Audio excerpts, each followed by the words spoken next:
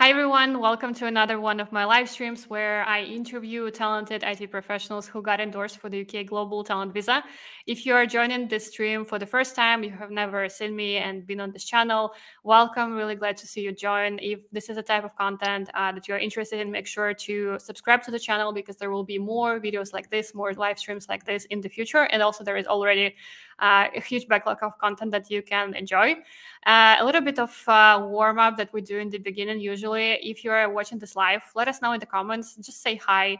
Uh, let us know where you're joining us from, what you do for a living, and what your interest in this topic is, whether you're planning to move to the UK and when. Uh, this will help us understand what kind of audience we have today, but also this will clearly help YouTube algorithms um, show this video to more people and potentially help more people. So uh, I appreciate any kind of support you can show at this point. Uh, for those who haven't met me before, a little bit like a short intro about me. My name is Nadia. I'm a self-taught software engineer. I currently work as a developer relations engineer at Intercom. I'm originally from Belarus. I'm based in London right now. And this year I was endorsed for the Global Talent Visa. Afterwards, I got very excited about all the opportunities that this visa brings. I got excited about researching it. I got a little bit obsessed with the topic, to be honest. So I started interviewing people who uh, were endorsed for this visa as well. And also, I started helping and consulting people who want to increase their chances for getting endorsed. If you're interested to see how I might help you increase your chances, uh, please check out the links to the website that you can see in the description box uh, down below. Um, yeah, let me just see whether we are seeing people joining. Um, yeah, we already have some people. Let us know uh, where you join us from, us from. This will uh, be, I think, interesting for us. Uh, we usually get quite an international crowd on on those streams. So, uh, really excited for today because I interview people from all walks of life on this channel when it comes to the visa. There is this myth that you have to be a software engineer, like ideally working at Facebook to get this visa. This is not true. And yes, I have interviewed my my fair share of uh, engineers from Facebook, but this is not definitely not the only uh, category of people who can get the visa. I'm very excited to be interviewing more people who represent the business side of the visa. So uh, you can be a technical candidate or a business candidate. And in this case, I'm very excited to uh, to welcome Aisha to this to this live stream, who is a digital content marketing specialist specialist. Thank you so much for joining us. Thank you, Nadia. Thanks for the intro. Hi, everyone. I'm really excited to be here. Um, do I just introduce myself? okay. Yeah, go ahead. Yeah, tell us a little bit about yourself, where you're from, what you do for a living. Perfect. Well, I'm Aisha. I'm a digital content marketer. I am from Lagos, Nigeria. I currently live in London on the Global Talent Visa. I have been doing content marketing for around six years now. Um, I did start my career as a generalist. So I started my career as a digital marketer. Um, and that meant that I was working on a wide variety of things. I was so I did like email marketing, social media management, content writing, paid ads, lots of different things really. And then when I decided that um, content was what I wanted to do full time, I decided to specialize. And yeah, I've been doing content marketing since then. That's me. Amazing. Thank you for the intro. So, where does UK come into this? How did you think about coming here? When did it happen? And why? How did you find out about this visa? Was this the first visa that you got here, or were you like going through another visa route? So, your visa history, basically. okay, sure. Let's get into it. So it's a bit of an interesting story, actually. Um, I had never lived in the UK before. I moved here this year. I moved here um, at the end of May. I had never lived here before. I had visited a number of times. Um, but before I moved to the UK, I was living in Mexico and working there with a company that I was working for in Mexico. And to be honest, I had no plans to move to the UK this year. Um, I came to London on holiday in December of 2021. This is 2022. So last year, December. And I had such a lovely time with my friends. That was just um, around six months after I had moved to Mexico. Um, and you know, li- visiting the city was a really, really different experience from living in Mexico. Um, in Mexico, I had a lovely time. Don't get me wrong, but I didn't have any community. I didn't have any friends um, that you know I had known for long. I was just making new friends, learning a lot about a new culture, trying new food. Everything was really different. Um, but coming here, London offered just a bit of warmth to me in terms of, you know, I had my friends, I have family in the UK as well. So it's also closer to home. So there were a lot of things that were working for the city for me um, when I came on holiday in December. But I still didn't necessarily um, decide to move then because for me, thinking about moving was going to be a complicated process. It meant that I either had to start looking for a new job and, you know, it's it's actually really hard to get a job that would sponsor your visa as a marketing um, specialist in the UK, just because a lot of companies, you know, don't just don't hire lots of like international marketers and then relocate them. Oftentimes, you find that a lot of people like to hire locally for marketing roles, um, and it makes sense, yeah. But so for me, I was just like, yeah, this is this is going to be a challenge if I wanted to move here. Um, but then my friend, actually, who is also a marketer, but she's a growth marketer and she also does like a wide variety of things. She um, told me about the global talent visa and she was also living in the UK on that visa. Um, and it was just a really interesting thing because she, she had told me about it before actually, but I still didn't consider it as a possibility for me because like I said, she does a wide variety of things. She's a YouTuber, she does her growth marketing, but she has lots of different experience with lots of different product companies. And for me at that time, I had only worked in a full-time role with one product company. So for me, I just felt like this is going to be really hard to get this visa. And I still didn't think that, you know, it was going to be a possibility for me. But I decided, you know what, I'm going to just do some research and see if this thing is even possible because I was operating from a place of just what she had told me without having any other extra knowledge. Um, and I immediately ruled it out for myself just from that knowledge. So when she told me that, you know, it would be a good opportunity, I decided to do some more research and yeah, here we are. yeah, amazing. First of all, congrats on this. Uh, such an amazing achievement. I know how difficult it is to get this visa. The requirements. Uh, it's all quite tough, but also it's doable. And I think this is the point of those live streams to encourage people to do that. So you said that at first you didn't think that you were qualified for this visa, you will be eligible. So what changed your mind? You know, was there anything specific that you learned that showed you that it's worth trying? Yeah, absolutely. I think the very first thing was just reading the websites. Like the very first thing was getting more knowledge. So I, I remember spending a lot of my time on the Technation website, on the UK Global Talent Visa website, and just like soaking up all of the information, getting familiar with like the different kinds of visas, getting familiar with different kind of applications as well. Like if you're a business applicant or a technical applicant, um, and it started to make a bit more sense as I spent more time reading. And I um, and I started to think, you know, this might actually be possible, but I still wasn't convinced. I think the very first thing I did that convinced me was sort of just creating a document and looking through my experience and trying to scan for things that will match or be will work as evidences essentially so i think when i actually did that process of trying to look at my experience and seeing okay do i have any evidence that works for what Tech Nation is looking for um, and that was it was at that point i started to actually be like huh this this could be a real possibility. I could get this visa. Because when i looked through my experience i saw that i had experience working with a product led or product first organization. I had um, you know, lots of experience working in that in roles that have been directly connected to the growth of the business. Outside of you know my day job, I've also made a lot of impact in the tech industry through mentorship, speaking at events, um, communities that I'm part of, and I've also you know been active in. So I realized that there were lots of things that I've done over the course of many years that actually work as evidences. So I think the first step was just scanning through my career history and comparing all of the different things I had done with what Tech Nation was asking for. And when I started to think about it that way, it really started to, you know, look possible to me. Yeah, yeah, I agree. It's very helpful, I think, that a lot of people do that. You need to map, you know, kind of write down everything that you can think of that you're proud of.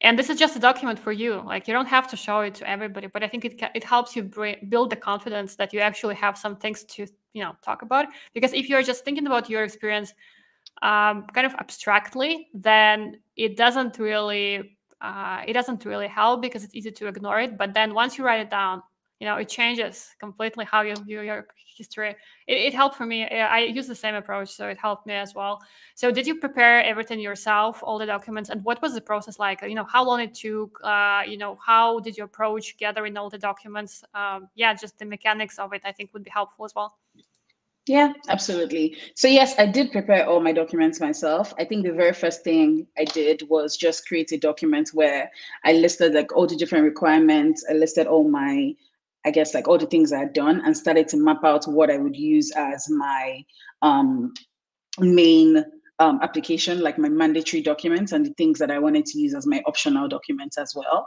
And then um, after identifying what I wanted to use, so for example, I worked for a product company before, um, and my application was actually heavily based on the work that I did at that product company. So I decided that, okay, I'm going to do one evidence document kind of describing the process of working at that organization? What were the things that i achieved? And the things that i achieved how did they in turn you know contribute to the company's growth? Um, and if there were any other any evidences i could add to the document so screenshots anything basically. And it also helped that i had put together a portfolio in the past so i was able to remove elements from my portfolio feedback from my work and really just use storytelling to help the Tech Nation, I guess, organization understand what I did and what impact it made in the organization. So um, I did focus on things that were very qualitative. I'm sorry, quantitative. Um, I wanted to talk about like a lot of different metrics, a lot of numbers, in ways that I helped to um, contribute to revenue. I wanted to spotlight things like that, different numbers that I was able to achieve as well with my work in terms of metrics. I wanted to bring that out. Um, something else that I also did that I think was also very helpful was um, adding supporting letters. So I know that Tech Nation obviously wants you to do three recommendation letters, but as part of my application, I also asked for supporting le letters from other members of an organization, of organizations where I'd worked and places where I'd mentored, you know, supporting letters from individuals who I thought, okay, I'm not going to ask these people to recommend me, but I think that Tech Nation needs to hear from these people in terms of, you know, how they think about my experience and what they um, what they have to say about my work, essentially. So I added supporting letters, and I think that that really helped with just giving overall context. Um, the entire process for me took around it's a it's an interesting one because I applied at the end of January, um, and then somewhere in the middle of February, so let's say three weeks, um, I heard back from Tech Nation, and they actually rejected my application the first time. Um, and it was really interesting because they sent, you know, a pro forma, which with like a decision letter, which basically told me the reasons why they thought that I wasn't qualified for the visa. And when I looked at the reasons, I realized that I didn't agree with a couple of them. And so I decided to appeal. And that's something that you can do when you're applying for the visa. You can appeal once. You can't add any um, evidence or any other documentation. You have to appeal based on things you already submitted before but you can appeal and share a different perspective if you think that you know if you want to argue um, and so i did that and it took another three weeks and then i eventually got my endorsement at the beginning of march in the first week of march. I actually got it on my birthday on the 7th of march i remember very clearly. So that's what it was like in terms of timelines. Amazing. I i wasn't aware that you actually were refused the first time. Could you tell us a little bit more about high level? You know a lot of people actually get refusals and sometimes i think that this is kind of the end of it. So uh, could you tell us a little bit more about how you approached actually appealing the decision and what are your tips around uh, you know for somebody who got a rejection the first time around. Yeah absolutely. Um, so i think the very first thing is recognizing that you can always appeal um, because a lot of people like i also wasn't going to appeal to be honest. Before i thought very deeply about what the what they had said to me, just the mere fact that, you know, it came back and it was a rejection and it was something I was unsure of in the first place. I was just like, yeah, I don't think that this thing is going to work. I was going to give up on it, but I slept on it for a few days. Um, my friends also kept encouraging me to appeal. I think my friends honestly did play a really big role. Um, but when I did decide to appeal, I think the first thing I did was look at my entire application and then look at the reasons that they had um, chosen to deny the endorsement. And what I saw was that there were certain parts of my application that, you know, passed their requirements. Like for example, rem, rem, remuneration. This word always kicks me in the butt, but yeah. Um, so I'm, I'm just going to switch that to income. salary. salary, basically. Yeah. Thank you. I know, yeah, I know. So... I have the I have the same I have the same issue with this word. Yeah, it's hilarious. I don't know why, but yeah. So um, I saw that you know in terms of my salary history, I already met the requirements. Like there was a consistent growth, and you could see that I was getting paid higher than you know counterparts in the same field, and th- that was just an established evidence that had no arguing with. But I saw that they didn't they didn't actually use that. They didn't reference it in the um, decision document at all. It was as though I never submitted that document from the feedback that they sent to me. So the very first thing I did was go back to them in my appeal whilst writing kind of like my appeal was essentially just answers to specific to the to the um to the decisions basically so they would say something like maybe for example oh we don't think you're qualified for this because we can't see xyz so then i would respond to that and say well i think i'm qualified because in addition to xyz i added xyz i know i'm saying a lot of xyz but um essentially to give you context i went back to look at my application and identified things that I knew that were things that I knew that worked, but didn't reference. And I brought them back to light to be like, I also, you know, I've submitted these documents, I submitted my salary history, and this shows something. This goes to show something.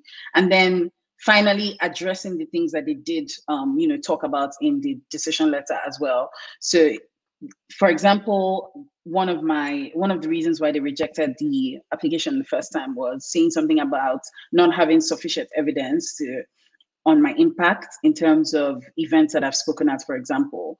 Um, they said that they didn't think I had been a keynote speaker at a really big content marketing conference. So they, for that reason, they didn't think that I was qualified for the visa.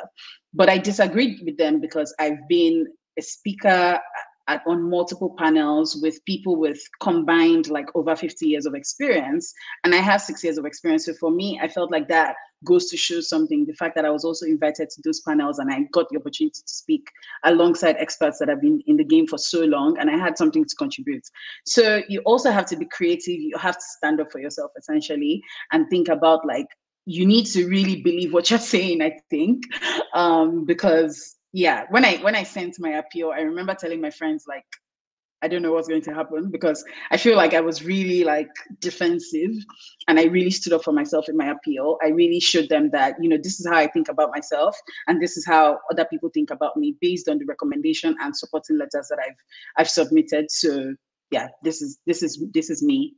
Um and they came back, I guess, yeah. with the endorsement. Yeah. I guess it worked. Yeah yeah they they saw the light you know and then but uh interesting it's a very interesting story uh, i like how you stood up for yourself and how you brought the evidences back to life so sometimes it's all about explaining you know to the assessors that this is actually what i showed and uh, appeals you know very often help because sometimes mistakes are made you know this is a person reviewing your documents they can miss something. They can just mm-hmm. forget a piece of evidence that you submitted and you just bring it back to their attention. And also another person will actually review your documentation. So you get another uh, assessor from te- you know from Tech Nation to review it. And uh, the worst thing that can happen is that you get refused again but you will get a second piece of evidence a piece of feedback that, that you can use in your second uh, application. And the next time you can apply again, there is no limit on how many times you can apply. You just pay the fee and you apply with new documents because it doesn't really make sense to apply with the same ones. Uh, so in your case, was it that you didn't miss like uh, didn't meet all of the criteria, or was it like you met two and one was rejected and you had to prove just one? Um, yeah, if you if you remember, if you know, if not, not no worries. I do, I do remember actually. They did say that I met one of the criteria, and then I needed to prove for two, but it just didn't make sense to me because from the documents that I submitted, I knew that I met, I felt like I met all the criteria. Um, so that's what I told them in my appeal, yeah.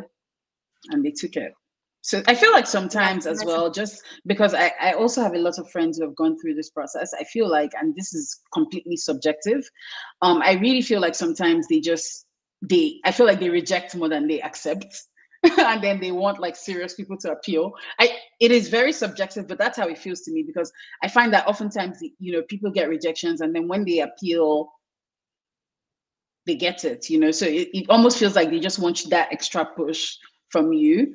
Um, but yeah, I don't know. Maybe you need to yeah, interview also... someone from Tech Nation to tell us tell us why. yeah, maybe. Yeah, I need to. You know, I need them to spill the beans on this.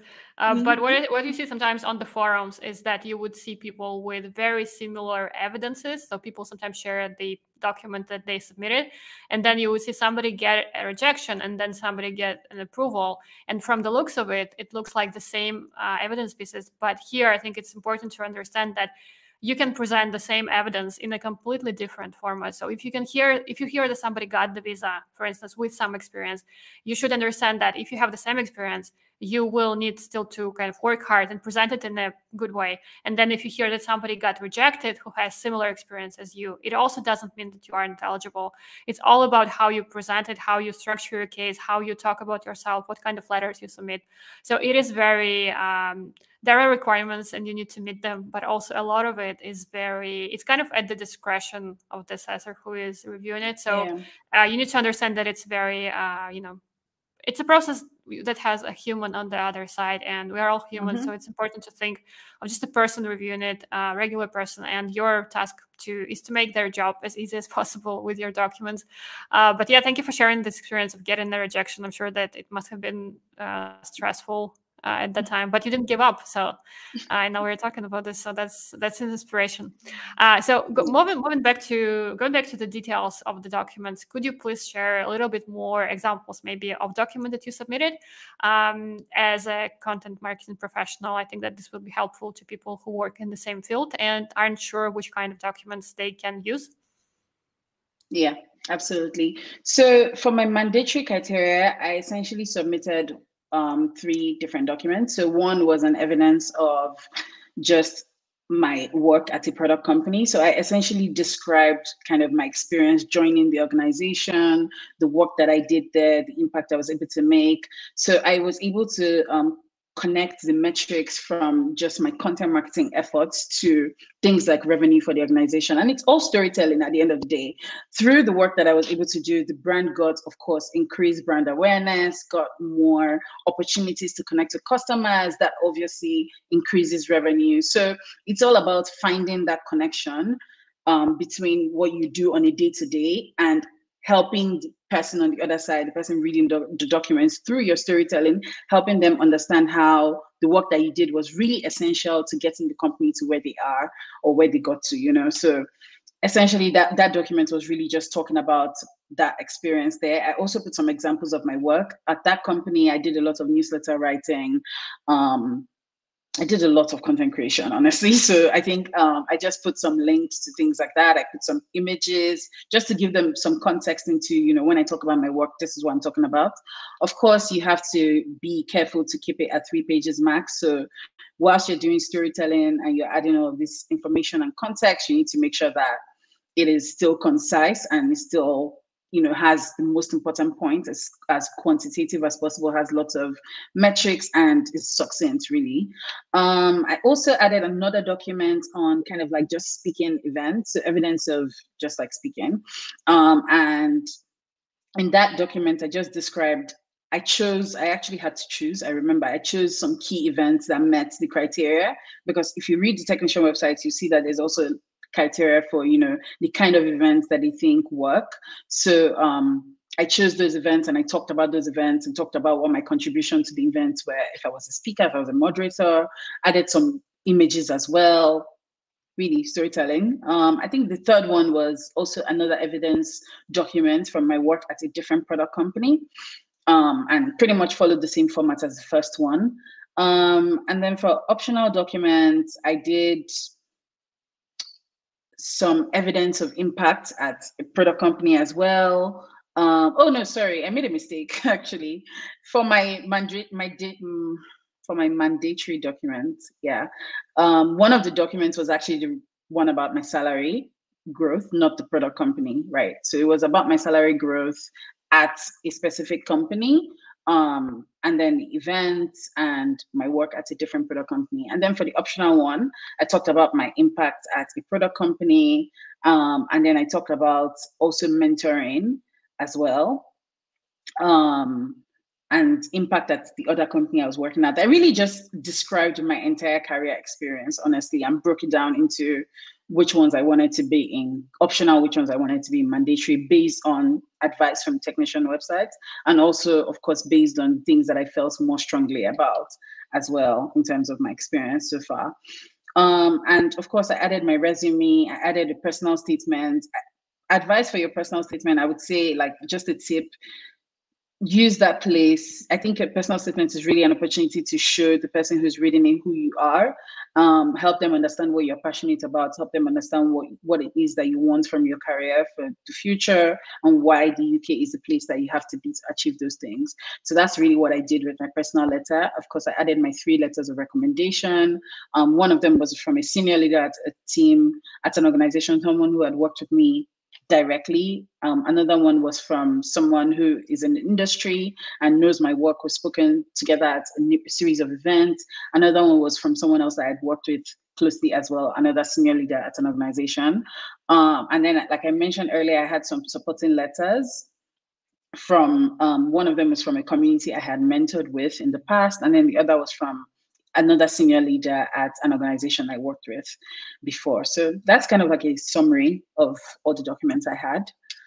Um, yeah, amazing. So yeah, of course, I, uh, I'm seeing that you chose the significant contribution and the uh, the outside uh, recognition criteria, uh, which is great. Mm-hmm. So I'm seeing I'm I've, I've been asked a lot of questions about the outside contribution, about the mentoring side of things, and kind of giving back to the community. Maybe you could share a little bit more about your experience mentoring, like what kind of organizations were this, like what is was the format, how long you did that? Because people always ask questions like, how long do I need to do this, or like how many mentees should I have? You know, things like that. I think right. this will also help people give an give an understanding of the requirements. Yeah. Um, so for my application, I did have three specific things. So um, in my career, I've also started a community um, called Smarketers Hub. So I kind of just explained my work with Smarketers Hub, which is really a community for smart marketers, as the name implies, to grow their careers together, to get access to opportunities. So I talked about what I was doing with Marketers Hub. I also talked about like mentoring for another community. So there's a community called Tech Marketers Hub, which I've also mentored for. Um, in that one, actually, was just one mentee. It was a very integrated like mentoring session where a mentoring, um, oh, I'll call it a session, but it was program really, where it was really integrated. I worked very closely with that mentee to kind of like just design what their career was going to look like, following up very closely and just working together with them more like a coach. So that was that was also really helpful. Um, and then in the past as well, I've also had the opportunity to mentor startups um, through a different platform as well. So I just I wrote about those three um, those three opportunities. But at the same time, I am a mentor with ADP List, which is a mentoring platform as well, and that it's honestly so fantastic. It helps with structuring and helps you know, just create a system around getting access to mentees um, and mentees also, of course, getting access to you whilst, you know, working with your time and um, just putting lots of structure. Um, I actually joined ADP list around after I had already applied just because it was something I found, but I knew that, you know, if I was doing it before, it's something I would have definitely in- included in my application. And I know a lot of people that have also, you know, mentored on ADP list and have included that in their application as well. So I would say figure out what works for you. But um, yeah, that I had a mix of different things yeah, amazing. Actually, we I interviewed somebody who was a mentor at ADPD list on my channel and got the visa as well. Uh, so there are a variety of platforms that you can join. Usually, Tech Nation recommends that this is uh, within a structured mentorship program. Uh. And I'm just seeing I'm seeing like rejections on forums for people saying that it's it wasn't clear that this is a structured program of mentorship, and also it wasn't if it's not clear what kind of impact you had within this. So if you're using examples of mentorship or teaching a volunteer in our community make sure that you are include uh, you know details about what you are doing specifically what kind yeah. of impact you had and also you know how much time did you actually spend on this you know so that they show mm-hmm. it shows that you are actually seriously involved into this uh, but mm-hmm. it's it's actually i think uh, a great thing to you know give back to the community at the same time you're building up your own uh, personal brand uh, you're giving back you're teaching others and also you're getting uh, like a cherry on the top is that you're getting a very strong st- documents for the uh, outside contributions uh, for the visa as well uh, so I think that this this can be seen as a nice push to people who have always wanted to volunteer but never had this, uh, you know, encouragement, and this is the encouragement. Uh, so we mentioned, okay, we talked about the criteria, we talked about the supporting evidences, the letters you mentioned who signed them. Um, was it difficult for you to get them signed? What was the process like? Did it take you a long time to get what uh, i mean what was the process of getting them signed? Because this is again people who aren't sure have never dealt with this. It, can be a little bit scary to ask somebody who is high up in the chain of command in your company to ask for a letter like how do you do this? How do you approach this? Yeah absolutely um honestly so for me the very first step was picking those people actually figuring out who would be the best people to speak on my experience and what kind of things would they say if they wanted to talk um, and another thing is just making it as easy as possible. I've, you know, I've seen people who have written the letters. Um, that's what I did. written the letters and sent it to the people to make sure that they can endorse it. And of course, they may have changes or um, edits, but you've you've put together that framework so they don't have to spend too much time thinking about actually writing the letter from scratch. I've seen other people who have gotten on calls and transcribed the calls, you know, just thinking about the best way to get what you want. Your goal should always be what do you want to get? You want to get a letter. How what's the best way to collaborate with this person to get a letter out of them? So um yeah, I, I think first step choosing the people, second step figuring out the best and the quickest way to get the letter sorted. Um for me, I just wrote I wrote them and some more advice on the letters actually i think something that really helped was also just making sure to reinforce a lot of the metrics that i had mentioned across my documents in the letters as well so getting that extra reinforcement coming from the senior ex- experts as well, saying things like, for example, at the product company, I said something about how my work directly contributed to X million dollars in revenue. And that's something that can be reinforced in the letter coming from the senior leader. That that is honestly just is great. It's fantastic. So if you have the opportunity to reinforce your metrics, you know, using these letters, it, I think it's a great thing to do as well to just help your application. Yeah, excellent approach. I think that this is also some, something that people struggle with. How to approve the metrics? Uh, if there are no publications about this and it's not an external information, you can just put those things kind of in the mouth of the people who are writing your letters and then it's coming from an expert in the field and it already has authority behind it so this is something that you can definitely consider uh, my framework when i advise people on the letters is that your letter of recommendation ideally should fulfill the criteria that you have chosen on its own you know so it's kind of like a little snippet of your application so that mm-hmm. if you've mm-hmm. chosen the same criteria that for instance you have chosen the letter would be talking about the uh, your leadership uh, recognition, how you're recognized as a leader, and then it would be talking about your significant commercial contributions to the company or your technical contributions. Although even for technical candidates, honestly, it kind of comes down to money.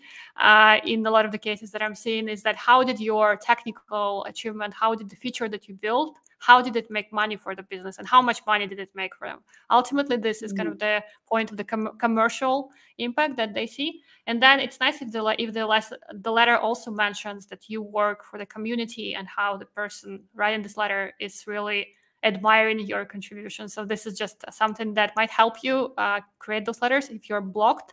So just think of this, you know, highlights of everything that you want to to mention in your application, and just talk through the story um yeah and i agree. Like i've not heard anybody yet who would ask the person the referee to write the letter themselves. Like it's just not feasible for a leader in a position of power. They don't have the time. They they're just too busy you know? You need to help them help you. Uh, so yeah. this is um, this is great. Um, okay letters are covered. I think you mentioned personal statement that this is you know an opportunity for somebody to tell a story. It's important yeah. that you know you say something that is specifically to you, you know, something personal. Um, was there was there anything else about, around the process of preparing documents that you think uh, would be helpful uh, for others? And before you answer, I just wanted to tell our audience that we'll be answering the questions soon. So if you have them, if you waited until now to ask them, make sure to ask them now. This is like a unique opportunity to ask ask an expert live. So drop them into the comments, and we'll get to them. We have quite a lot of uh, questions. Actually, it's I think probably one of the most one of the busiest live streams that I've had. So that's very good yeah so if do you have any other like you know advice thoughts on the process of preparing documents something that you want to share with viewers? Uh, i think just some more general tips um, you have to pay attention to detail. I honestly think that attention to detail you know because for me i i didn't really have any experience with this before.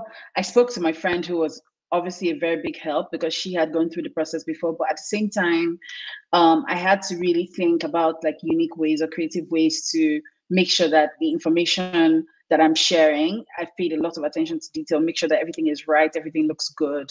I've covered all my bases, and you know there are no silly mistakes that could cost me the visa really so i would say attention to detail and patience is really really important just take your time take time to actually get as familiar with the process as possible read the website like that's the very first first thing actually read the website i've had so many people reach out to me like oh how can i do this how can i do that and once i start talking i immediately know the people who haven't like read the website and i'm just like go and read the website.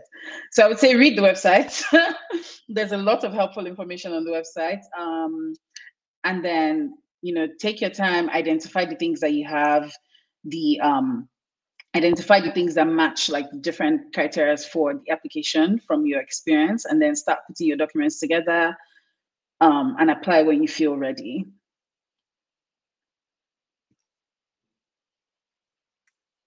Amazing. Thank you for that. I shared link to the Tech Nation visa guide in the description. Uh, this is the single source of truth for all things uh, global talent visa. Yeah.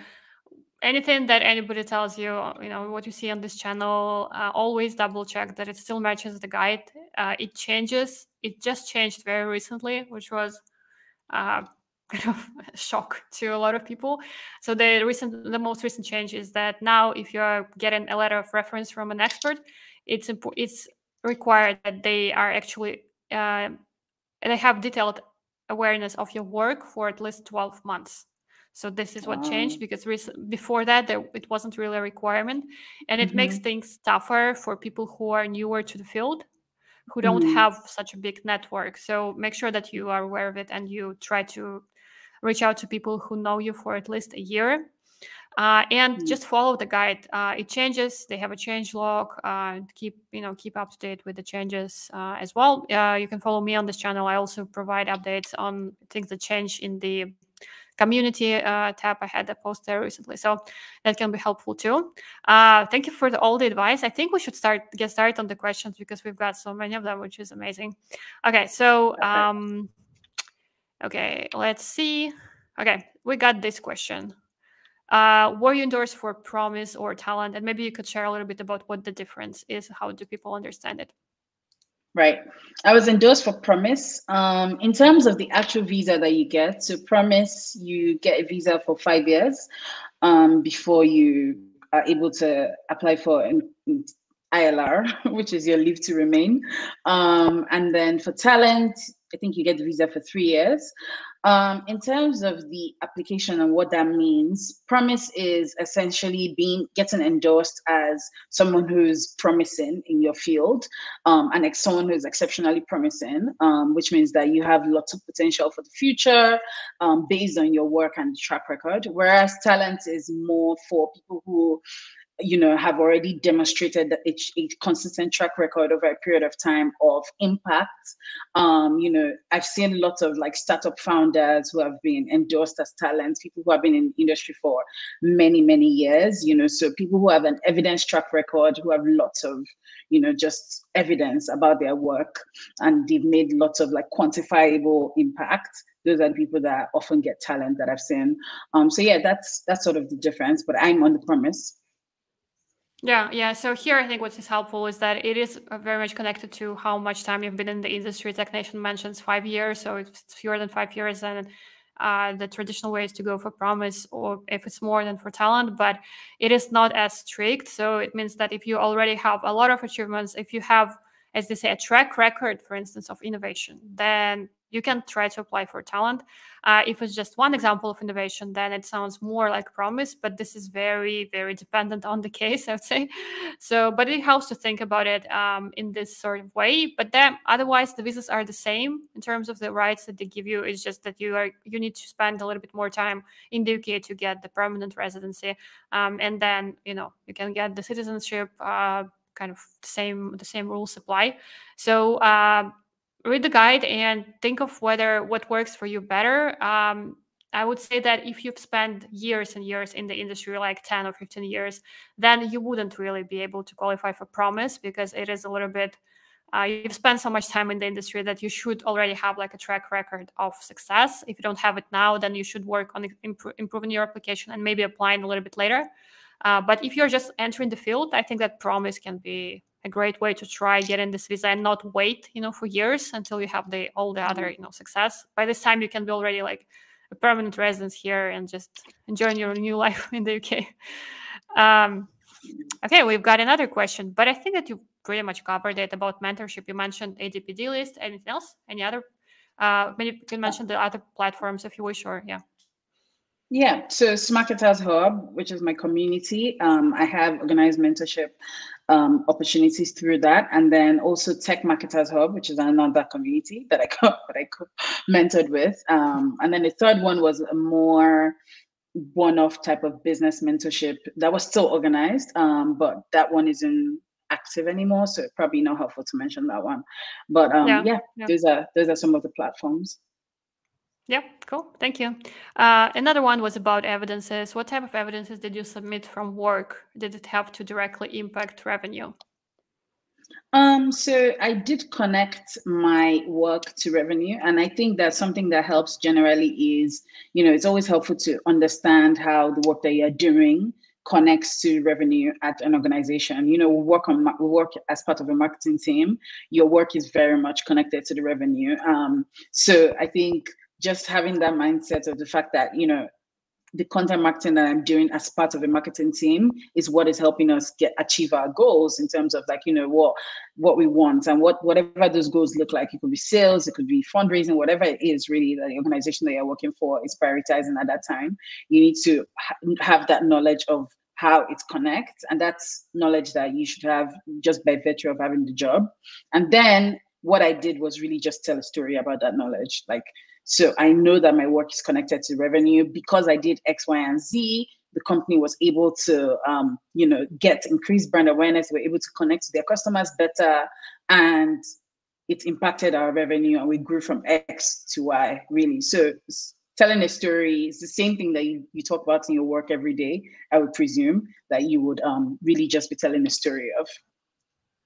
Yeah, yeah, I agree. Also, it helps that if you work at a company that has uh, performance review procedures, then you will usually be required to create this performance review doc where you talk about all the things that you have done and their impact. And this is something that uh, I think pretty much everybody at the company that has this process does, like both technical candidates, non-technical. Everybody has to uh, make a case for you to get promoted. I think that this doc can really help you if you struggle understanding how your work impacts uh, any metrics at the company. So we had another one. How did you prove uh, those numbers and metrics? Here you mentioned that they were mentioned in your support and evidences in your letters of recommendation. Yeah. Was there any other documents that you could use uh, in that case? Um, for me, I did not actually have any other documents. I just had them reinforced mm-hmm. in the letters because the letters were also coming from senior members of the same organization. Um, that that was what I did really. But in terms of metrics, for my work, I did have like screenshots from like reports showing metrics from things like, you know, um, maybe newsletter engagement. Um, there was a community that I managed as part of a product company that I worked at that had like over 25,000 members and it grew from 8,000 members to 25,000 members in just a number of months. So that was also something that I added. Um, so I did have some evidences of metrics in terms of like screenshots for my actual work, but in terms of metrics from a revenue perspective for the organization. I wasn't going to bring our I don't know, account balance or balance sheets into my application. So I just had that reinforced in my letters. Um, yeah.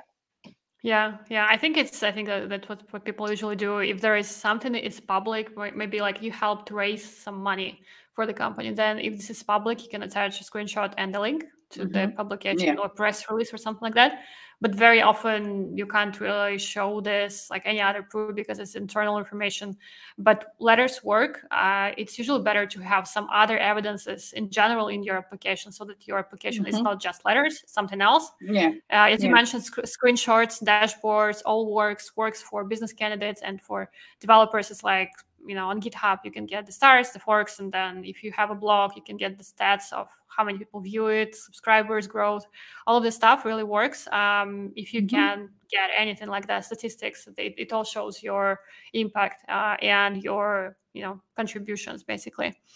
Okay we have yeah. another one which is very interesting. Uh, how did you connect the impact of your work uh, as a content manager to the revenue stream of your product-led company? What metrics did you measure to achieve this Right, perfect. Um, so for me in my role, I did a lot of things. I joined the company at, you know, eight days to a huge rebrand and I worked there for close to two years. So there were there was lots of different things that I did that I just know that if I didn't do, we literally wouldn't have gotten to where we got to.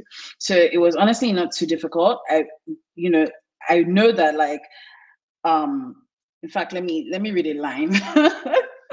because for me, what I said was essentially like additionally, I managed the copy development and design product process for product marketing on multiple channels, including performance marketing, print advertising, and billboard ads, leading to XYZ in revenue in 2019 compared to XYZ in revenue in 2018. So essentially, like it was really storytelling. Like I was just telling them that because I did all the work I did with advertising, with marketing, with community management, with newsletters, with branding, all of these things helped us grow our revenue from X to Y. And I feel like this is something that anybody at any in any role in the organization will be able to say. Customer success, for example, and, and I know that this may not be necessarily relevant to the global talent visa, but I'm just saying that if someone in customer success wanted to connect their their work to revenue, they can say something about like improving the overall customer experience helping to contribute to increased revenues you know so at the end of the day it still it leads back to what i said before i think for me it was really connecting the impact of my work to the revenue stream is not something i had to do for the global talent visa it's something that i already know based on just like my work at the organization. It's something that I, I, even think that everyone should be aware of. You should always know kind of how the day-to-day work that you're doing is impacting the overall growth of the organization. Else you know you kind of have to now wonder like why am i doing these things if you know you have to know what the impact of your work is. So um, i think i just put it out there. Yeah. Yeah uh, agree agree. It's very it's important for everybody no matter what your role is to understand yeah. the stuff. There was another uh, interesting question. How did you position yourself to get invited to speakers uh, to events as a speaker? Right. Um, I think I actually did a lot of reaching out as well. So, in terms of positioning myself, um, I talked a lot about my work. I wanted to be as visible as possible with my community as well. I shared about my work on like social media. But outside of all of that, honestly, I think I did a lot of reaching out. So, if if I saw that you know an interesting event was coming up, I would actually reach out to who's organizing, apply to be a speaker um, and yeah, I got a lot of opportunities by putting myself out there. So that's I did a more forward first approach than I think now I'm at the place where I do get, you know, lots of invites. Um, but earlier in my career, I did a lot of like putting myself out there and asking for things to actually get them.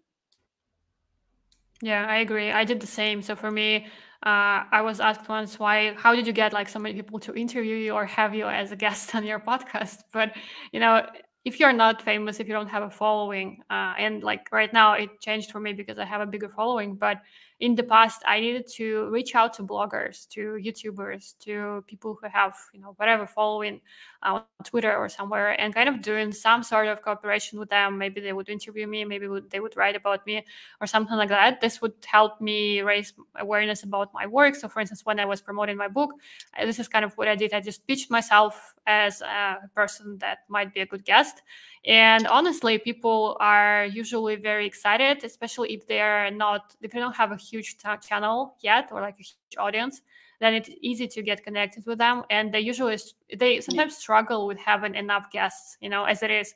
So if you're coming to them you're actually helping them. So it's not like you're asking just for yourself. You're helping them as well if you're providing valuable information and good content. So it's content for them. Like without them there's no channel. So like without my guests like there is this you know uh, live streams aren't possible. So i really appreciate people coming in and telling their story. So it is a valuable exchange for everybody. So i would encourage you to be active reach out to people and suggest that you yeah. talk to them about your product your whatever you're doing uh, because Tech Nation, they what I've heard is that assessors there, and this is not verified, but just rumors that they Google your name and they would see, you know, where you come up in the search.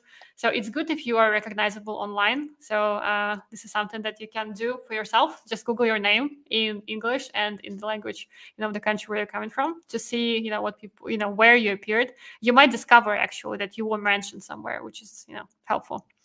Okay, so yeah. there was another one about optional criteria. We did cover it. So if you joined later, then you can scroll back. But it was the outside contribution, so basically community mentoring uh, and all that, and then significant commercial contributions. Um, so yeah. Um, what was the next one? Which two criteria did you not meet when you were first rejected? if you remember, if not, no worries. I actually don't know. I'm so sorry. I think yeah, no worries, no worries. might have been the mandatory and optional ones, which is weird because it's like those are the two ones, those are the two criteria. But I think I might have to go and look for the performer for that one. But yeah, yeah, yeah. not quite sure. Yeah, no worries. Yeah. Uh, okay. So okay, another one. How many years of work must I use in the product like organization before I can be eligible? Here i would say that mm. uh, so with the recent changes it kind of becomes a little bit more challenging because if you're using an example a letter about your work at a certain company then the person who's writing it they have to talk about how they know your work for at least a year. So if you only worked for three months then it might be challenging like how do you present this? Maybe you knew them before you started working on them then maybe uh, but yeah i don't think that there is like any specific requirement like how many years you know you need to have uh, so you, there is no strict rule there, but I would say that um, yeah, I don't think that there is a rule. It's just that it's more about like what impact you've you have had at the company. Yeah. What do you think? Yeah, I agree with you. Um, yeah, yeah, I do agree. um, I, in fact, drawing from my experience as well, like when I think about it, the cumulative amount of time for my product-led experience it's just about two years. Well, it's more now, but at the time I applied, it was about like two years in, in total. And I was applying with a career history of six years. So yeah, I think yeah. it does vary for everyone. Yeah, I think that the sometimes people apply for you know year like year and a half, two. I think this is like the minimum that I've heard, but this is not to say that if you sometimes also people use the academic contributions requirement, and in this case, you can use your academic achievements as one of the optional criteria. So uh, it means that if you recently graduated, for instance, from a PhD program or something like that, then you might not have that much professional experience, but you have the academic background. So it re- mm-hmm. really depends on your case um, and which criteria you you choose. So in terms of uh, timing, uh, I think uh, could you remind us again how long did it take you to prepare all of it? Um, it took me around three weeks to prepare everything. I applied. It took them three weeks to get back to me and reject me. And then I appealed and it took another three weeks. So a total of, I think, nine weeks. Yeah. so it's yeah. not that long, I would say. Uh, no. Compared to some, other, some other visas. Yeah. Okay, another one. Uh, do you think a social media dashboard showing growth in following or reach could be considered as impact? Um, I definitely think yes, but you need to connect how this following or reach is helping the organization. Like, what does this what does this following or reach that is increasing? What does it mean for the business that you are working for? So that's always the, the, the key point to make sure that you're connecting it back to if you know if they're increasing in following and reach does this mean that they're increasing in like brand awareness does this ultimately connect to like their revenue numbers do you have that information so yeah it does work, but you need to make sure that you're always closing that loop of connecting it back to the organization's larger goals. Yeah, excellent. Thank you. Um, did you have to differentiate when stating the evidence in the title pieces, for example, mandatory evidence of black, black, blah, and optional uh, evidence of something else? How did you? Um, uh, I guess this is about the, the, the names of the documents. Yeah, I did name my documents, but I think when you're actually applying, you can't make a mistake because you need to upload like each document. And you, when you're applying, you'll see, you'll be fine. but yes, you can name your documents. Um, yeah, and say yeah. which it's ones a- are mandatory and optional. Yeah, it, it, there on the dashboard right now, what they ask you is you have to choose the criteria, and then they ask you to write. Then you kind of need to write the names of the documents and the yeah. to which criteria they they map. So it's easier if your document is called something sensible, not like one, two, three. Mm-hmm. So that it's it's called, yeah. for instance, public speaking. You know, some or like mm-hmm. letter of support reference from company X. So this yeah. will help you to make this easier. But also, I've heard this advice that you shouldn't call the documents with the concrete um, names of the criteria. Uh, but I don't think that there are any specific requirements around that. Tech Nation doesn't specify it, so it's kind of all about making it as easy for them to review them as possible. So it's not there are no requirements right now. Maybe this will change and they will ask you to call them a separate way. Then you know you need to do that. But for now, we just know that these are 10 evidence pieces and they can be in variety of formats. Most people do PDFs, I think, at this point. Um, and what else do we know? We know three pages, no requirements on fonts. Although people yeah. sometimes go crazy and use like tiny fonts to squeeze oh, as no. much as possible. but please yeah, make your documents legible. yeah, I know. Right. Yeah, yeah, but sometimes you have so you have so much stuff you want to you know put everything in. But yeah, just uh, choose the most important things that fit in three pages. That's that's I think the, the best one. Um, okay, uh, another one for talent visa. What if all your evidences are innovation startups? Would that be a problem? What do you think? I'm not quite sure how to answer this one. Um, I know that for just to get the Tech Nation visa, you need to have a diverse like set of evidences. It can't be all like one kind of evidence, at least from what I know. But Nadia, you are perhaps more equipped to take yeah, this one. yeah. So so for, for innovation, I would say that innovation is basically one of the optional criteria. So uh, you can choose it if you can prove that your work is innovative. So for instance, people with startups, they often choose this criteria because they can show that their startup was innovative. Uh, so you can submit this uh, documents about startups towards this criteria. Uh, but then um, you would have to choose another optional criteria, which might be either you know your community work and kind of outside work, or it can be significant contribution within your places of work. Uh, but here you would need to choose something, um, structure the evidence differently and show how your work was making a significant contribution to the uh, to the company. So uh, it, these are different criteria, and uh, you can't basically like use the same words to fulfill two different criteria. You need to understand, okay, this piece of work was it innovative, uh, and like this piece of work was, for instance, um, you know, significant contribution. Um, and yeah, I think a Tech Nation guide that I mentioned before that I linked to before, they mention examples of how you can prove that something is innovative.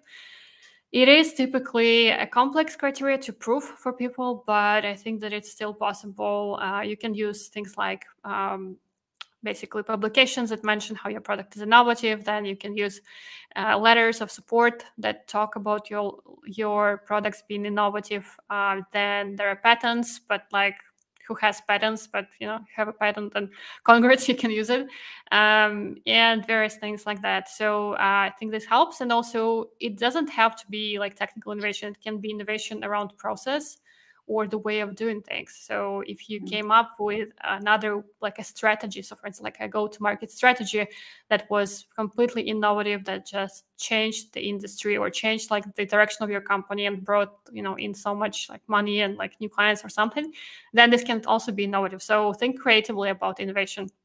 I think that innovation criteria is under underappreciated. I think that there is a lot of uh, potential there as well. Mm-hmm. Um, Okay, so uh, okay, somebody's the first time on my channel. Welcome, and yeah, I hope you subscribe and follow uh, for more streams like this. Uh, thank you for joining. Uh, kind of a little bit about my experience. So yeah, for my experience, I'm um, a career changer. I used to be a journalist, uh, and I taught myself to code a few years back, um, and kind of started sharing about my experience online publicly wrote a book about it, um, then was active in various communities here uh, in London. So I was volunteering in organizations like uh, Women Who Code and others. Um, so doing a lot of community work similar uh, to what Aisha said right now. Um, and uh, yeah, worked with a couple of companies. So for me, I was I was also granted the promise route. I think that specifically because I am relatively new to the industry. Um, and um, yeah, took me three weeks, four weeks to get endorsed.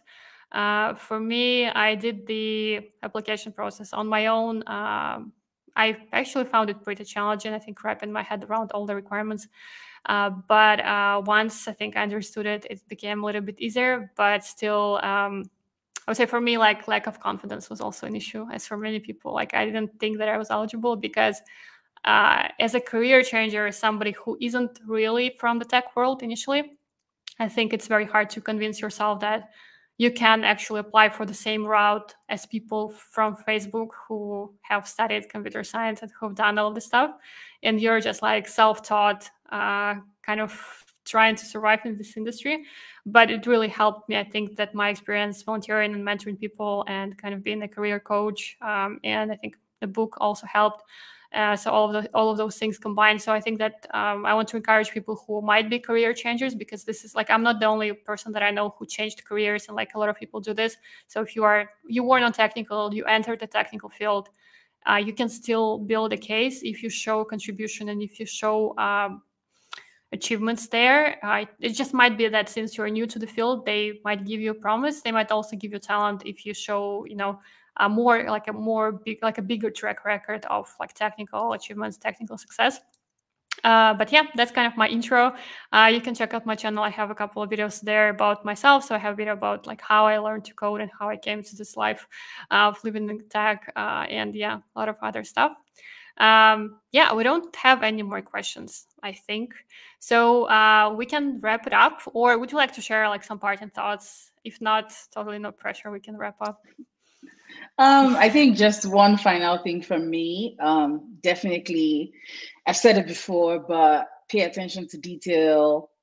Make sure that your metrics are quant- quantitative. I don't know why I keep trying to say qualitative, quantitative. Um, and you know, take the time to actually look through your experience. There's lots of things you know that you can leverage in your application. There's lots of little context that you can add, lots of personalization that you can do, lots of storytelling as well that can really help you stand out and really help you make your case. Um, I honestly think that storytelling was a really big part of my application. So, yeah, tell your stories, help the person on the other side, you know, learn a bit more about you and why they need to give you the Global Talent Visa. Yeah, amazing. Thank you so much for sharing your story, for all the encouragement. Um, I do appreciate you spending the time and talking about this. There is close to zero information about getting this for content marketing managers and general people who work with content or work with marketing. So if you work in fields that are related somehow, you don't dismiss this video just because like your title is a little bit different. If you do something slightly different, you can still get inspired by this. So I do hope that this helps. Uh, if you need like further support, you can go to my website and see like the ways that I help people increase their chances for getting endorsed. Follow this channel. I have a couple of interesting um, live streams planned already. So I'll be interviewing um, actually, I think almost yeah, I will be interviewing both technical candidates and business ones. So I have an interview coming up with a developer advocate, which is very exciting since I just recently moved into this new role, new profession. So I will also uh, com uh, communications professional and a product manager. So if you are working in those fields, this might also be helpful. If you know people who work in those fields and who are interested in relocating but think that they aren't eligible make sure to point them to my channel as well. Um, yeah, with that out of the way, I think we can wrap up. Uh, thank you everybody for joining. This has been such an active community today. So many, uh, so many questions, so many comments. So we've got this, love this chat. Thank you. Um, thank you for for your time with us. Your story is amazing. I love your ambition. You rock. I agree. Uh, thank you everybody thank you. for being here. Yeah. Uh, if thank you have further you. questions or yeah, if you're watching this in recording, mm-hmm. uh, make sure to ask them in the comments. We'll be happy to answer them later. Thank you so much and have a nice rest of the day. Bye.